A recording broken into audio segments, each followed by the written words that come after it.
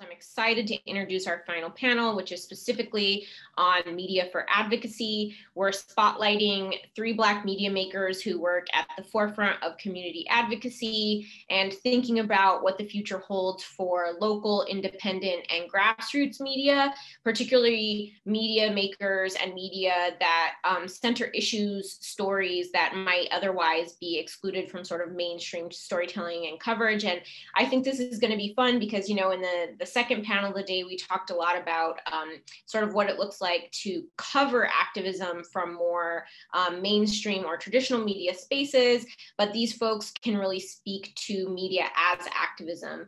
Um, so uh, without further ado, let me represent them and then we will jump right in to the questions. So Aishah Simmons is an award winning cultural worker who, for 25 years, has examined the intersections of race, gender, sexuality, and sexual violence.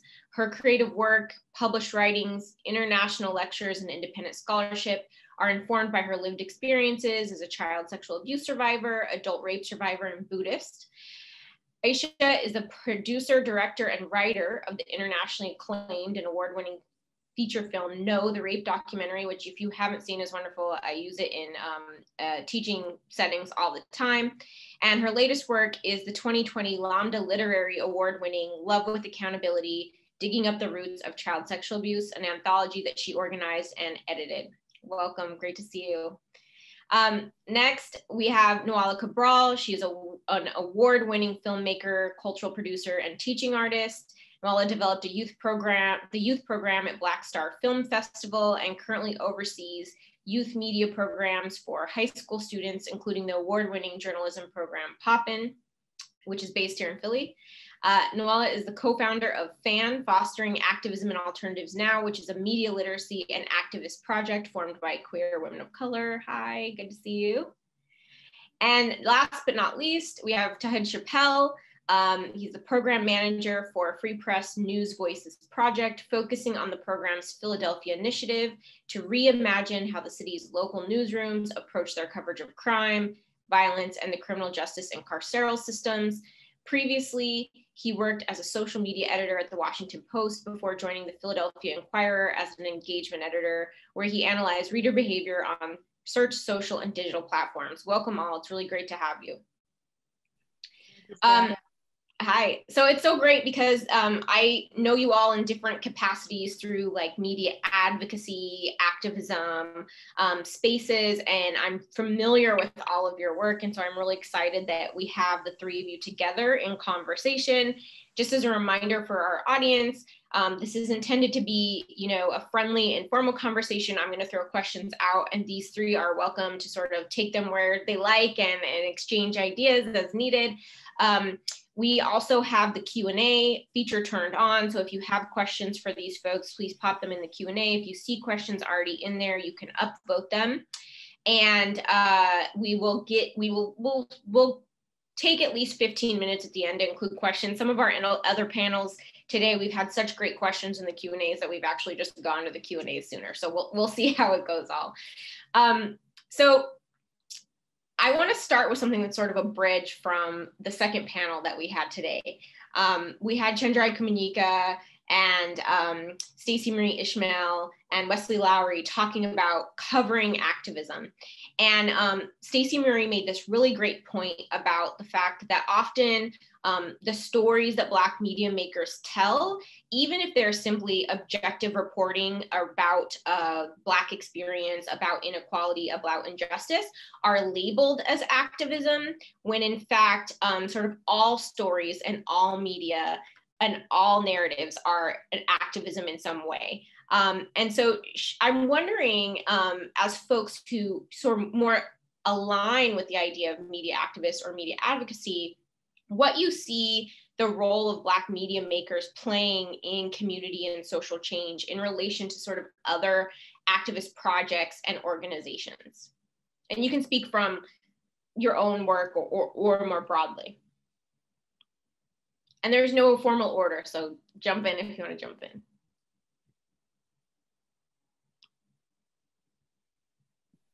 Okay, I'll go first. I'll go first. Um, you know, one thing that I, I like to say uh, since being in Philly, and you know, I lived in different cities. I've lived in Phoenix, Sacramento, uh, DC. Um, Philly, I, I really appreciate the type of just media and information sharing and journalism that activists and activist organizations do on the ground because it really is um, it really is the, the the the community reporting in Philly I think is is just as if not sometimes better than the journalism that we're seeing in a lot of the local media ecosystem because it's coming directly from community members who know their neighborhoods who know their backgrounds who know these sources who are connected um, to these issues. And um, I, I, think that it's been wonderful to see that, you know, the the standards that a lot of black journalists and journalists of color that they have to work within a framework of objectivity that a lot of the activist journalists have that freedom so to speak to to write that narrative and and raise these issues in the way that they know will get seen so it's it's been interesting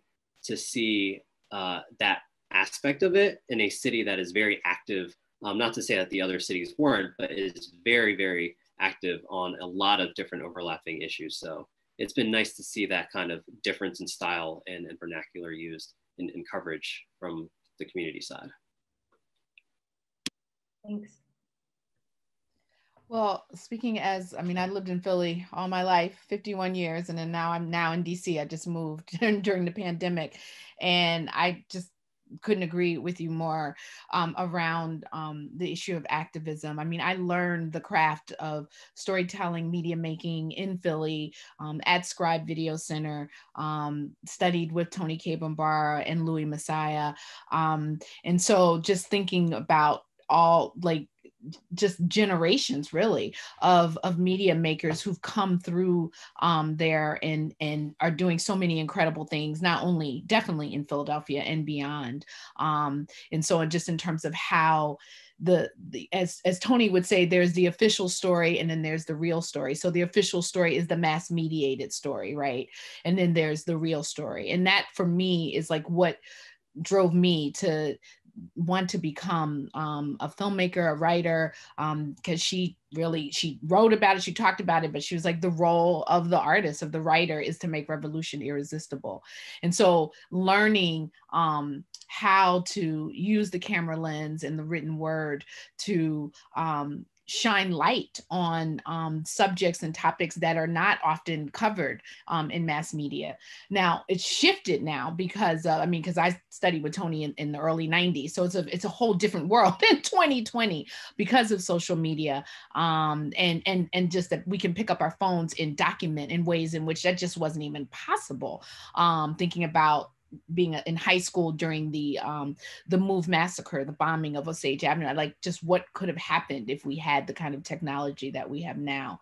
Um, but there is just that that radical um, um voice, if you will, um, and it's everywhere. But just because all of you are in Philly and I'm still connected to Philly, just thinking about the ways in which um, um, the media makers have really been able to to spin um, the official story so that people could see the real story.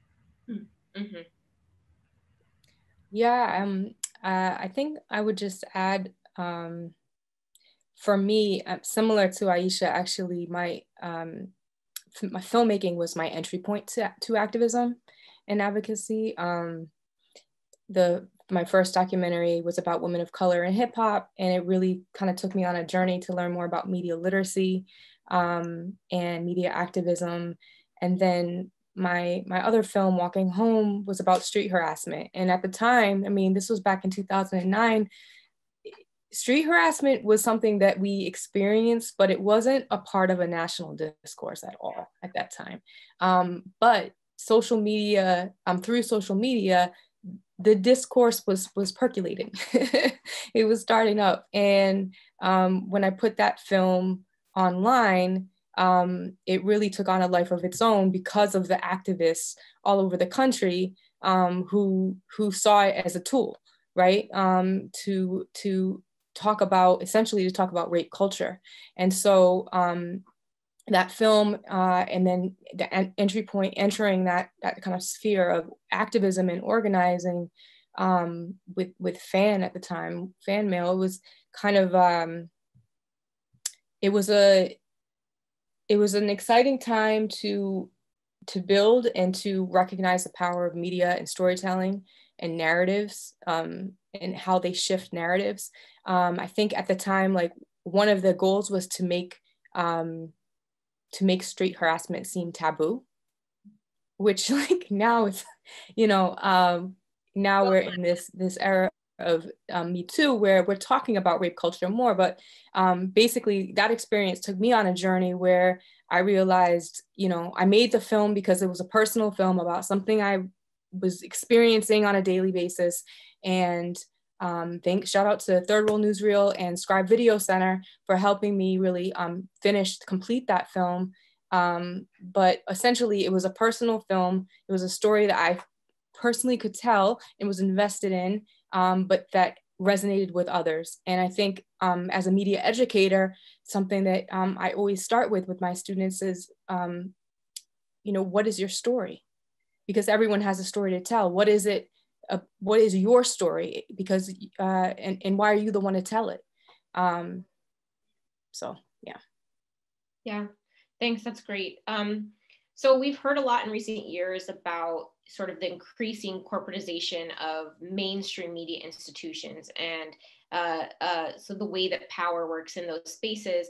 And I'm wondering if the three of you could reflect a little bit on how this has affected or if it's affected the grassroots and independent media environment and what kind of challenges folks who are doing um, activists and grassroots and independent media um, face, um, maybe as a result of sort of the corporatization of media, and what kind of support you all need in doing your work?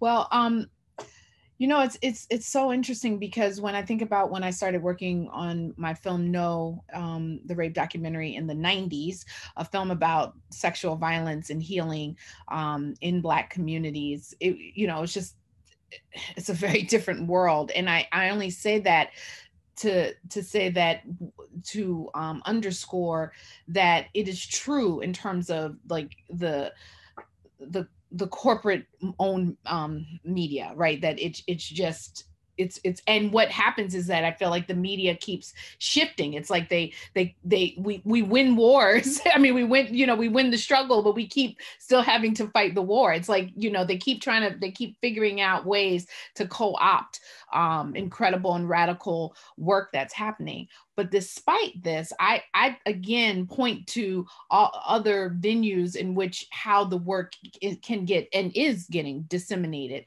So while definitely, you know, people want to be able to use the have access to the large platforms um, out here in terms of broadcasts or you know in uh, web-based platforms, that there are ways in which the stories um, can get told. I think the struggle is is really about the funding to to to get that and and to to be able to to support your work. And while it's it is exponentially cheaper and again i'm thinking about media film and, and that way um, to make the work it is exponential it once was it still costs money.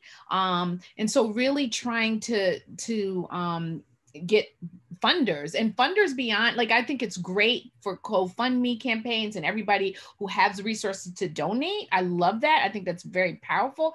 But i also think that you know corporations and i mean foundations have responsibilities and they have to i mean there there's a push where they're being pushed to take chances, if you will, and, and support radical work. Um, and then as someone who is a survivor and is queer, like I, I think, and clearly black, that it's really important that when we talk about racial justice, including gender and sexuality, that we're talking about sexual violence, eradicating it as a form of um, radical racial justice. And I think that that's that that is some struggles that um, media makers um, do face. Media makers who are, who are, feminists, who are queer, in terms of trying to get funding. And it's like, do we do we fit under black? And then if it's gender, is gender just read as white? I mean, so those are the like the the ongoing struggles that I, I see happening um, that we have to keep pushing against. Mm-hmm. Thank you. So I just, um, I know you read my bio, but I think it was a little bit older. Um, because um, right now I'm I'm not actually teaching youth media right now. I'm doing um, I'm a program officer at the Independence Public Media Foundation in Philly, which is a new private foundation which supports local community media making in the region. And um, so I'm I'm I'm still kind of I'm doing I'm still learning a lot. I've been there for a little over a year, and you know I'm um, a lot more comfortable in uh, talking about uh, media making, I suppose, and and at youth youth media and activism. Um, but I'm trying to to bring that those experiences and, and those perspectives to this work in philanthropy.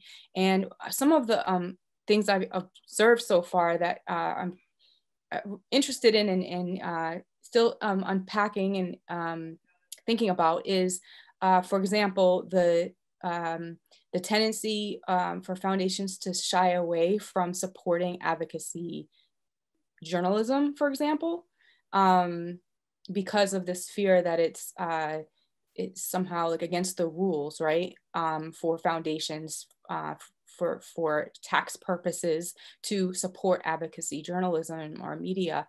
Um, luckily, um, I work at a foundation that is um, kind of not um, that's not some we don't we don't see it that way. Um, and we're uh, excited to support movement media and i'm very excited to support movement media. There are a lot of um, amazing community organizations that have a lot of exciting media projects happening right now. Um, for example the amistad law project um, and so many others that are um, partnering with media organizations to shift the narrative and um, so I think in, in terms of in this sphere that I'm in now in philanthropy, um, my, my goal is to really kind of push some of those boundaries um, and to um, support Black and Brown led organizations, um, to support organizations that maybe, or individuals who haven't ever received a grant before. Um, what we're hearing is that uh, particularly in the filmmaking community, a lot of independent filmmakers um, they it's it's difficult to get funding. It's difficult to get a grant that's more than like 2500 films cost a lot of money to create. People need access to networks. Um, people need mentoring and training. Um, and so i'm really excited um, to help support media makers um, in terms of getting them the funding they need so that they can sustain the work i mean I left my job, my youth media job, because it was no, it was not sustainable. A lot of youth, a lot of media people working in media organizations are overworked and underpaid.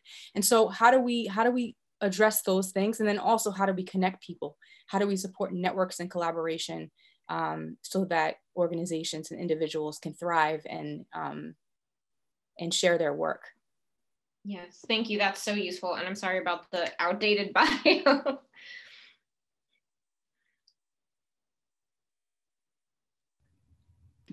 Um, one thing I'll, I'll, I'll say first, I agree with both of the panelists wholeheartedly um, and all of their observations. Uh, just real quick, the consolidation and the ongoing ownership um, of media, of commercial and nonprofit media, um, it's just it's dangerous, right? The, the the less people that have more power to influence the public um, in this day and age is just not good. So this consolidation um, we should be worried about but we know that the business model in its sense could not sustain itself and we know that the business model has never been able to um, uh, really uh, both one serve communities of color and two still be able to um, function within a capitalistic society so there has always been this uh, I think this the direction that we're seeing with the amount of layoffs that we're seeing, and the pandemic is obviously exasperating a lot of these things. But you know, the ongoing layoffs and the consolidation is, is just going to really create larger walls and more gatekeeping of who's able to produce media within these platforms. The benefit, the silver lining, the only silver lining, or one of the silver linings, I think I would say, is that you have more opportunities of journalists um, looking to still make an impact, looking to still tell stories, looking to still do journalism. And um, the, the opportunity to engage and grow your base and have more journalists freelancing and, and looking at ways to tell stories differently without the constraints or really living in a toxic work environment that you are forced to kind of you know report in a certain manner or have to be looked over the shoulder in, in your reporting there's an opportunity for journalists who um, still want to do journalism but are no longer in the commercial media space that you can still create media. And there's an opportunity to to work and and align with activists and advocates who are also doing their own journalism and tell stories from from a from a true perspective so to speak. Um, one that is not broadcasted in the way that it's broadcasted in a distorted lens so to speak. So um, it's it's tough to see but you know I, think when we think about the future of media um, the the way that corporate media is, is shaping up to be is that uh, they're in survival mode and they're going to do anything to protect their assets and they don't really care about changing for the better so um, there's an opportunity to really change how we control and, and create our own media for our own communities Great, thank you. Um, so I think on that note, I'm hoping you can each share a bit about the projects or stories that you're currently working to tell um, or hoping to tell the issues that you think are you know most crucial um, maybe should most be funded in this particular moment in terms of thinking about um, media advocacy? Um, well you know and it's that's I think it's a great question and it's a hard question because there's so many, you know, there's so much work that I, I believe should be funded. um, mm-hmm. so, but I will say that you know, for over 26 years, my work has focused on disrupting and ending sexual violence and specifically looking at um, the violence, um, sexual violence in the community from which I come from in this lifetime, which is the Black community. So my film, No the Rape documentary, um, and now my anthology, Love with Accountability, digging up the roots of child sexual abuse, which is um, over, I mean, no and um, and Love with Accountability combined features the voices, the right writings and voices of about 70 um, diasporic Black folks who are survivors, who are advocates, scholars, activists, um, talking um, first disclosing the, the harm that they've experienced but also looking at how we can disrupt and end this pandemic of, of, of, sexual violence without relying on the carceral system. So that's the work that i have been committed to doing. Um, it's deeply personal. As i said i am a survivor both of child sexual abuse and adult rape so it's, it's definitely personal but it is also political. Um, and now my next project is from love to justice which again is going to be centering um, storytelling as a praxis to end um, sexual abuse in um, in, in, in Black communities. Um, one of the things that I think is very powerful about media, and I think one of the reasons why it is it is a constant battle, if you will, to be able to tell our stories, is because you know it really shapes how we think about everything, right? And so, um, you, I mean, in terms of how how we how how we're informed about things, that media is so powerful, um, and so, and I think that that's why we have to continue to really push to use it. Um, and I think that for me, as I, I said earlier with my um, previous comments, that I think the the struggle that I observe having is how how how do you talk about how do I talk about sexual violence um, and accountability outside of prisons and policing in in in this in these heightened moments of and realities continuous let me just be clear around white supremacy um, and, and, and and white violence committed against communities so for me it's like the work about how do we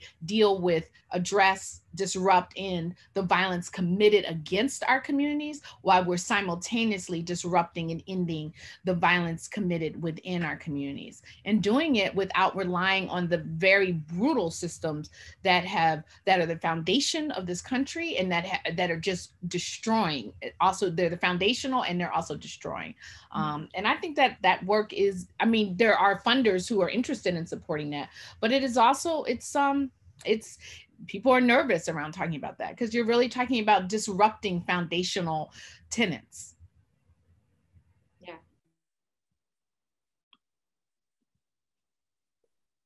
Um, well, Tauhid, I know you're going to talk about, well, I don't know if you're going to talk about it, but I'm really excited about the project you're working on, um, Media 2070, um, which is a, a, a consortium uh, campaign organization. I don't know how to describe it about um, basically reimagining what media can look like and and media reparations. So, um, but I'm sure you're going to talk more about that. But I'm very excited about that project. Um, I'm, I mean, in terms of like thinking about young people, the young people's voices are often missing in mainstream media, um, and and often you know weaponized or stereotyped in many ways.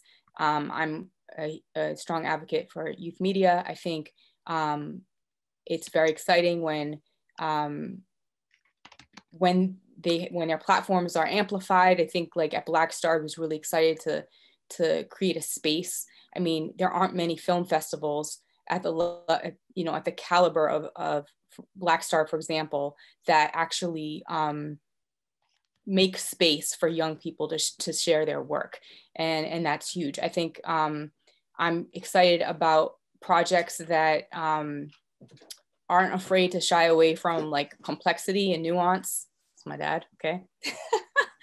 um, I'm in his office, so it's only, you need something. Yeah, my, uh, this, this is fine. yours. Mm-hmm. Sorry, guys. Maybe mine's outside. Okay, we love your dad actually. So yeah, this is my dad, Len. Hello, everyone.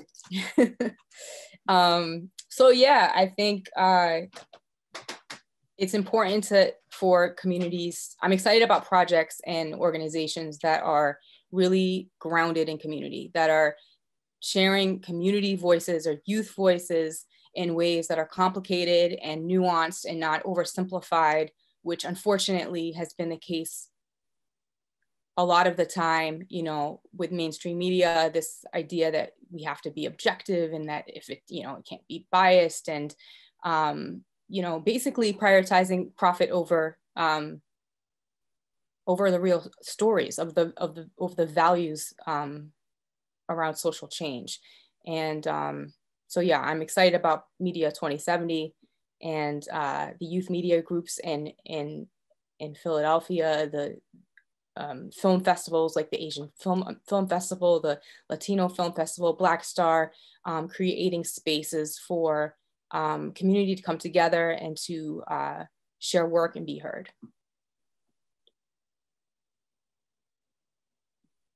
Ooh, I, it's hard to follow up with, with, with, with that. That's the, I should always go first, I feel like, because it's just like, I, there's just so much to talk about after following up with, with both of you. So, um, the question uh the, what was even the question? I'm sorry i was just like listening no worries no worries. So what are you currently working on? What projects and stories are you oh yes yes yes yes. and what projects and stories do you think you know folks should be being keyed into and paying attention to in terms of media advocacy and, and community issues yes so uh for the second part i'll, I'll answer real quickly um i think you know i i want to see more attempts for uh, Spanish speaking and other language, um, just to have all this COVID 19 information out there.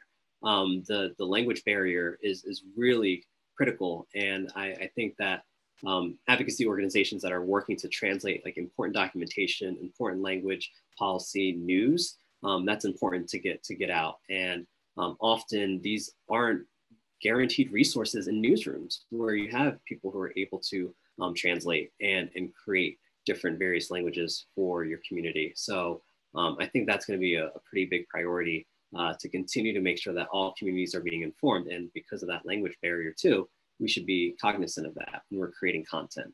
Um, not everyone speaks English. Uh, so the first part um, to your question, um, so my job is a free, uh, free press project manager, and I am leading the Police and Violence Narrative Project in Philly, and the focus is to basically work um, both in community and with journalists and help shift the narrative as we see journalists cover crime, as we see journalists cover policing, as, and as we see coverage of the criminal legal system. Um, my idea is to uh, work with journalists to not center and focus on authoritative sources, particularly police and those that work in the carceral system, and really look at centering a lot of the issues that we're seeing around policing centering the perspectives, the expertise, the solutions from community members and groups that are actually working to address these issues at the local, hyper-local neighborhood level. um, even block level, so to speak. And so the idea is that there are two realities that we're seeing one that is distorted and really centered around white values, um, and the other that is the reality of really a Black city that is anchored by poverty and anchored by over policing and too many instances of the criminal legal system because of the laws. And so, you know, it's by, by being able to work on shifting that narrative and really addressing the issues that add context and nuance to the environmental and the societal um, factors that lead to a lot of things around gun violence, uh, over policing, um, divestment, then we'll be able to give audiences a lot more thorough understanding of the uh, factors that you don't often see that explain the reasons behind some of these uh, institutions, the, the corruptions, and the ways that a lot of these communities function. Um, the Walter Wallace Jr. murder was really another case study as to how the media can do a better job at talking about the factors of lack of mental health resources, lack of investment in the neighborhood, lack of um, transportation, lack of um, uh, you know just basic necessities. And so there's there's always an opportunity to really look at the people who are impacted at the root level and talk about the root issues that have made this um, these types of instances boil up. And so by working in coalition with groups like Amistad Law, uh, Movement Alliance Project, Reclaim, YASP, um, Power, uh, and the MIC Center, um, we're, we're, we're looking at ways at not only narrating and showing the historical harms that crime reporting has done on Black and Brown communities, but how can we actively work with journalists to shift their sourcing, shift their perspective, shift their entire reporting structure to actually address these issues and not really give that 6,000 feet in the air, very broad stroke um, reporting that doesn't actually address the information needs of these communities that are impacted by these institutions. So um, I dropped a link in the chat that talks about the Police and Violence Narrative Project, which is what we're calling the Shift the Narrative Project. And then I'll touch real quickly on the Media 2070 project. I also dropped the paper there. The Media 2070 project, the, the Media Reparations for Black Communities paper is a phenomenal document and one that has really just opened up my eyes. Um, it's, it's allowed me to really say, oh, we can think like that? Like, oh, we can, we can dream like that.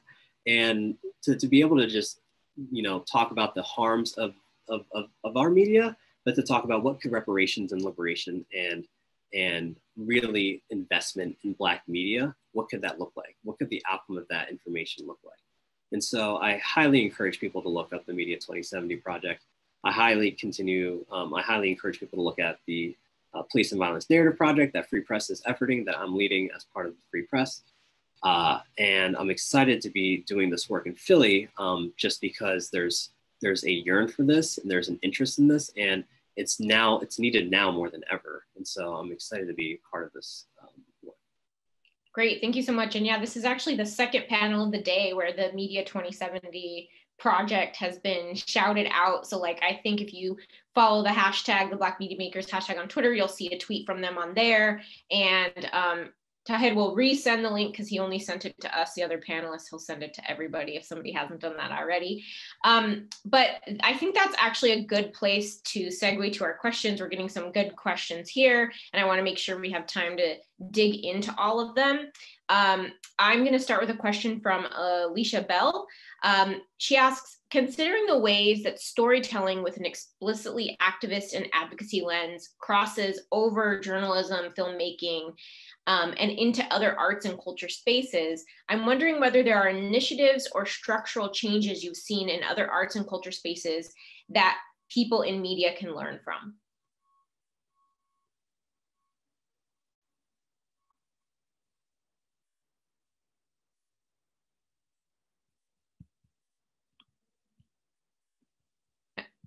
I thought this was a great question. Thoughts on this? I'm just going to echo that that's my colleague. Alicia Bell is amazing. Thank you for the great question. I'm curious uh, to hear from that as well. I don't have, I unfortunately, I started off my journey into film and visual media was my entry point, but I don't have a whole deep context or um, relationship or community in the arts and film area. But uh, good question, Alicia.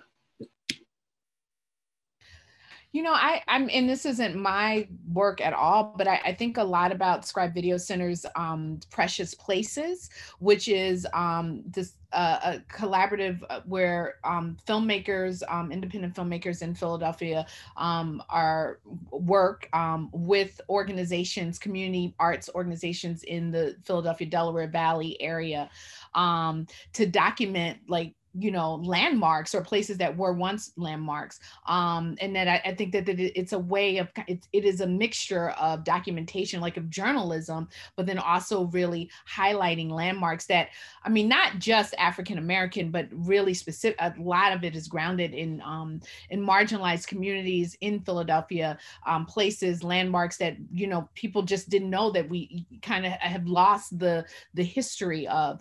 And so i mean i, I think a lot about um, that work in terms of being able to really to both document and also kind of celebrate the arts. That's just one thing that immediately comes to mind. yeah, and I think shout out to Precious Places. They're doing amazing work um, documenting neighborhood stories. Um, I I'm also really excited about the kind of like community engagement um, outreach campaign sphere and how that is really um, supporting filmmaking right now. Um, there's an organization called Working Films that um, works with uh, filmmakers and pairs them with community organizations that are um, connected to the, the, the narratives that the filmmakers are addressing and then thinking about how they can work together to, to really help um, community engage with that media content and engage in the issues. Um, and I'm excited that uh, there, I know there needs to be more like funding and support for that kind of, those kind of partnerships, but I'm excited that um, IPMF is, that's an area that we're, um, we're interested in supporting. I think, you know, it's one thing to tell a story, and then it's another thing to really think about how do you how do you in 2020 use all of the resources you can to really help that story um, be heard and help folks engage with it and help p- potentially like you know challenge policy um, and it's it's really an art. It's a whole and so there's um, i'm glad that there are resources like working films um, like even like firelight media in new york um, that are helping filmmakers really um, create media and then distribute it in ways that are that are um, impactful. Yeah, I think that's actually a good segue um, to the next question because it's specifically about this question um, of support for that type of media. Um, it's from Sanjay Jolly, um, and he asks, can you talk more about the various mechanisms and pressure points to push the foundation world to adequately support movement media? It seems from the outside like the overwhelming tendency of foundation support for movement orgs is to discipline or co-opt radical aspirations towards sort of more reformist aspirations.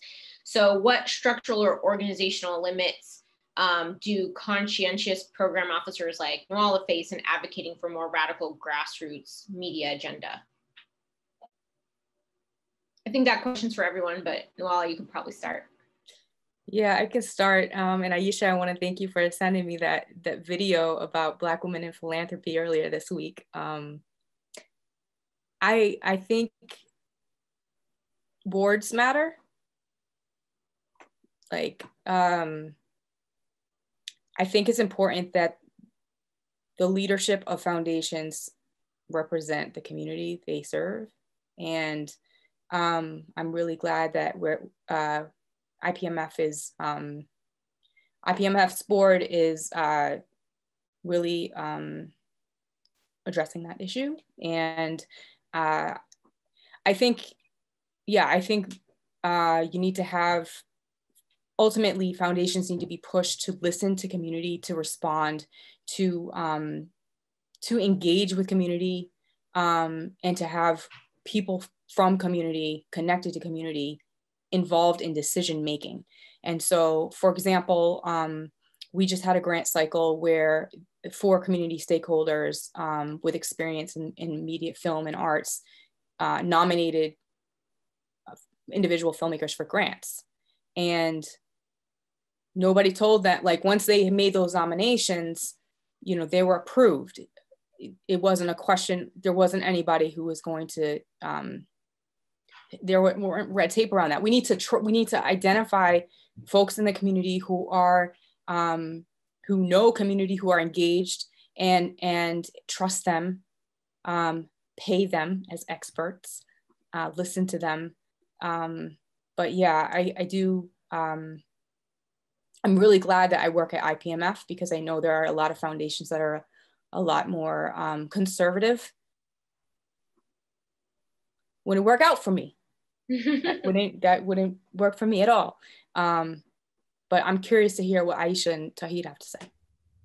Yeah, I'm so glad. Well, first I want to just say, in terms of my indirect relationship with where you work, um, Nuala, is that I I started in the 90s. I started uh, producing for WYBE TV, and that was when I did two shows, Out of the Closet and On Sisters, which was Out of the Closet, which is about the queer LGBTQ community, and On Sisters is about women of African descent and this was an example of kind of like the opportunity it reminds me of PhillyCAM like this opportunity to be able to produce shows um, that were of service to uh, to the community and uh, um, issues specifically.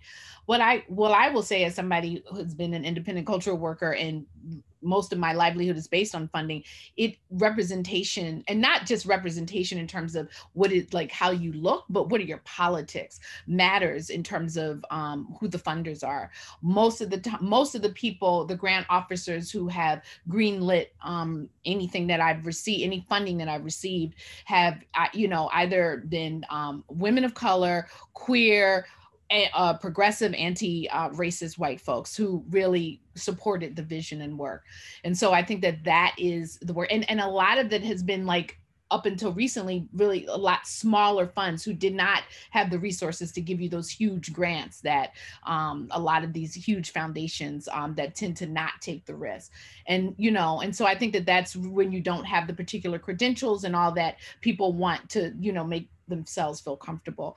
So i think that that's that is is really critical in terms of like you know the the whole philanthropy wall that we that that just continues to be um um disrupted. And and so i'm really excited about you being a pro when i heard that i was like whoa that's so great you know because not you know not your politic but then also how you live as a media maker and doing the work with um with youth um with youth makers. And i think that that really you understand understand it. And I think that that is what's um, really critical um, in, in that work.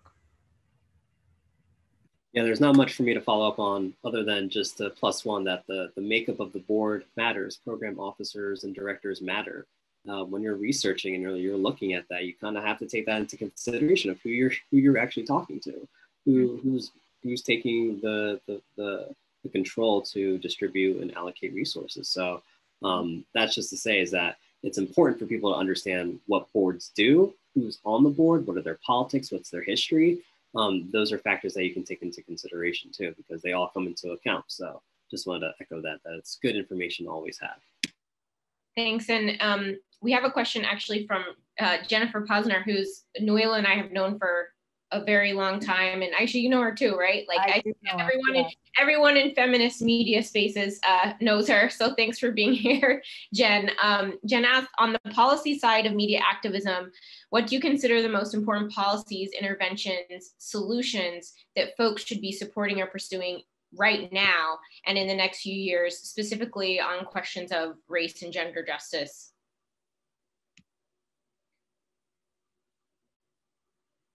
Oh, there's, there's. Oh, go, go ahead. Sorry, I cut you off. No, no, no.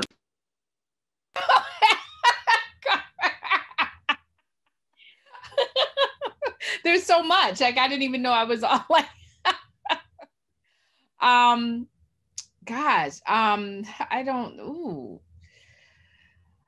I mean, I, I think, I, I think that there. I think that there there it is critical that there is a recognition and acknowledgement that there are people on the ground who've been on the ground doing um, this work. So i think like this the kind of not that jen is asking this question but the the notion so often is like oh we've got to f- figure out or what's happening. That the work is happening and, and it's really so much around you know how do you turn your attention to what's going on rather than kind of reinventing um, the the wheel. Um, and so i mean I, I think a lot about like um, the work, for instance, of, of, of Mariame Kaba, who does, I mean, just an incredible prison abolitionist who really uses media in terms of with others. I mean, she does not work in isolation, um, but in terms of um, videos, YouTube videos, zines, accessibility to really break it down. Like what what do we mean when we're saying when we're saying defund the police, and and specifically in relationship to violence to violence. I don't want to say just women because humans are sexually assaulted, men, women, children, gender non-binary people, and that is often thrown up as like kind of like what are you going to do about the rapist? And so I think that you know in terms of the these types of um, interventions that there's a lot of work like INCITE um, of women and trans people of color uh, against violence that they really again draw an intersectional lens in response to state sanctioned violence and interpartner um, violence or intimate violence or you know personal violence. Um, so that I, I think and um, survived and punished and really has a lot does important incredible work. So there's like work out um, in in in the world that where folks are using media to do serious grassroots um, education um, popular education so making it accessible so that it is not just this kind of like theoretical but it is applied practice um, and and really um, not like oh it's fun doing this work but just really making it seem like that anyone can can access it that you don't have to be in some ivory tower having you know deep um yeah being disconnected from from the people that these folks are with and among the people in in sharing this information. Uh, i have so many that i'm just going to go down the list of things that i i wanted to to say that are there's just so much there's there's just so much but let's talk about first real quick. And some of these are specifically Free Press things. So, you know, I'm just going to hype this up real quick that Free Press is working on this, but there's also other organizations, Color of Change, Media Justice working on this.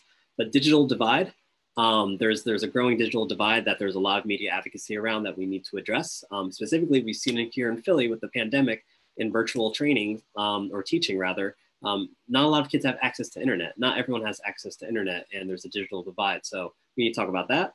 We need to talk about broadband and internet access for all so that people can actually get online and actually have um, available uh, you know, information. We need to talk about Title II and net neutrality. We need to talk about the FCC. Um, we need to talk about uh, media reparations for Black communities again. Um, and then we need to talk about changing the beats. For me specifically, I would say changing, you know, getting rid of the crime beat as we know it and focusing on abolition, focusing specifically on police violence, focusing specifically on the carceral state, and focusing on specific communities of colors and the LGBT community as well. There needs to be specific um, space within a newsroom to cover um, all aspects of the communities, um, all types of diverse communities. And then, um, you know, the, the, in my opinion, the biggest thing that we need to address is completely changing the power dynamics within newsrooms and media companies as a whole. You can't expect to change culture in a newsroom when the power structure is completely white, when the people on the board are majority white, when the people on the board are majority white and men, when people leading are, are white. When you have all sorts of power dynamics where there are more people that um, people, there's less representation at the top, none of the culture is going to be able to change because the people at the top are actually not reflective of these values and they're not coming from the communities that actually care about this too.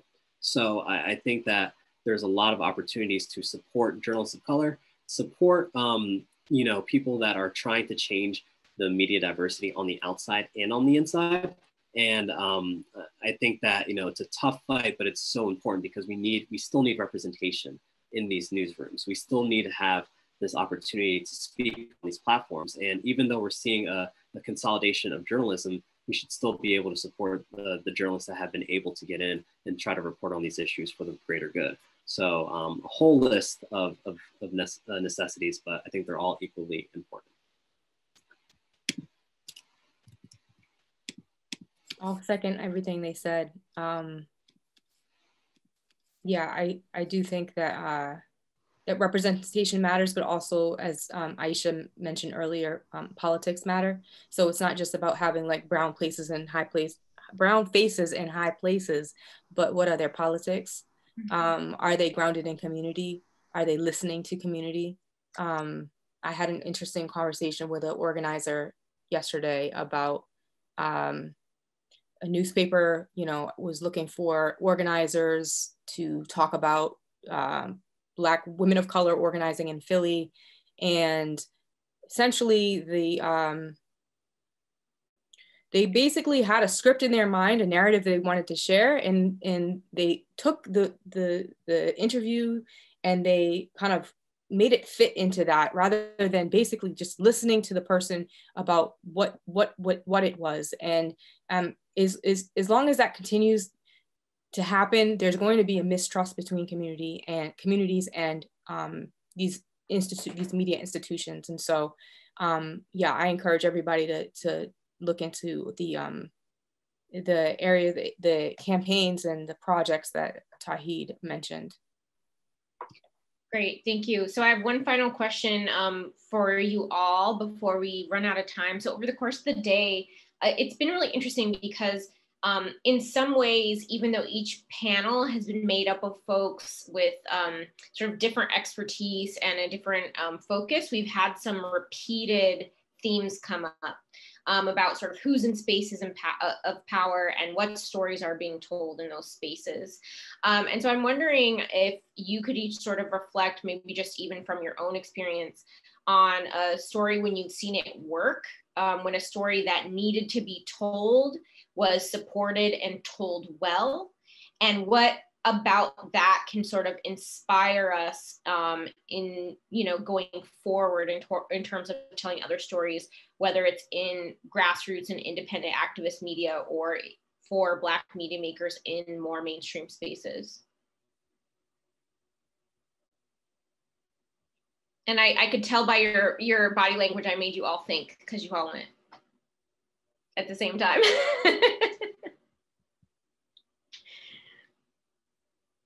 Let me just get a little clarity. So are you talking, does it need to be independent and mass mediated or what do you No, anything that that you feel like is an example of when, you know, a story needed to be told and it was actually told well and it reflected, you know, maybe a community that historically their story wasn't told. I, you know, I think one of the things we're trying to take away from today is um, not just the experiences of black media makers but what they're asking in terms of change in in narrative and in industries to get these stories told. So i'm wondering if we have like hopeful stories of when it works yeah and i and i i walk gingerly because i am really I'm, I'm an abolitionist. I i, I definitely and, and, when i'm about to share this but i i really I, I think about surviving r. Kelly and i think about how powerful that work under dream hampton's uh, leadership vision um how powerful that that series was. And it was powerful because it really put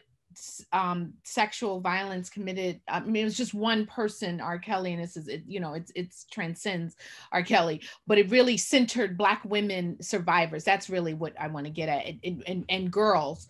Um, it put it on a mainstream, mass mediated level. So it was just something that I never thought it was even possible that I would see in my own lifetime as somebody who spent 12 years working to make a film about uh, ending rape and sexual violence in black communities. And so and, and just how it was everywhere how powerful it was and that it it, it created um, just a, a level of visibility that as a black woman survivor i and know many we all know but in terms of that it was on network television everywhere. And when i say i walk gingerly not in terms of how the work was received and all that but just like you know i don't think that prison is is the uh, solution but it was the first time when things started moving towards some form of accountability for for um R. Kelly. You know, like it was just a really interesting thing to observe that I just hadn't seen in that way. That I think is is really powerful. And there are many other examples that is not at that at that mass mediated level, but it is just something that I think should be uh, lifted up, particularly because it was a Black woman director um, and, and, and, and, many um, Black women filmmakers involved, in, including editors, that I just think that that was really uh, critical in terms of telling our story, Black woman who's a survivor director, telling our stories um, on a national platform. Yeah, thanks for that. That's a great example. One that's I'll give I'll give two. Um, one briefly, which was um, at the local level. Um, we I used to work with a uh, a black journalist. Her name was Tylisa Johnson. She did really good reporting on the whole uh, issue of lack of funding to libraries and library coverage. In at the time when I was working at the Philadelphia Inquirer, libraries weren't like a centered covered thing. They, they weren't really talked about on a daily basis. But Tylisa had really looked at just the, the value that libraries bring for communities, the, the uh, convening space, the information, the education. And really, it was one of the awesome times I was able to, even on the analytics, track the impact that she was having, tracking the growth in the sharing and the conversations around libraries, and then seeing the advocacy groups really you know, use that as a way to argue for more funding and, and try to get some more uh, reallocation of resources from, I think, the state budget at the time. And what had happened eventually is that I, I believe, and correct me if I'm wrong, if I'm, if I'm misremembering, but like both city council did use, and this was pre-COVID, city council allocated some funding to to uh, local libraries, and so did the state, but at a state level. And so we don't know how much is actually reaching Phillies per se, but they were able to allocate some of the resources or funding for lo- uh, local libraries, as far as I remember. And that was just incredible because it was like such a topic that's really under the radar compared to a, a lot of things. And like it was just you were just able to see every story, every update that she had, whether it was talking to politicians, community activists, and being in the libraries and talking to people. You could just see that in, interest really grow. So that was really cool.